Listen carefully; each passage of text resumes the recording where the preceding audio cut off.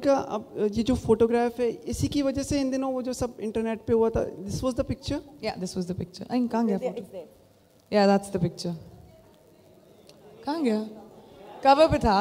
वो फ़ोटो है. या या it's that picture so what was your reaction on this आपने मेरा रिएक्शन ट्विटर पे देखा? देखा लेकिन आज सामने। This is the photo the infamous photo and so that was my reaction मैंने अपने रियल बड़ा गंदा लगता है ये word.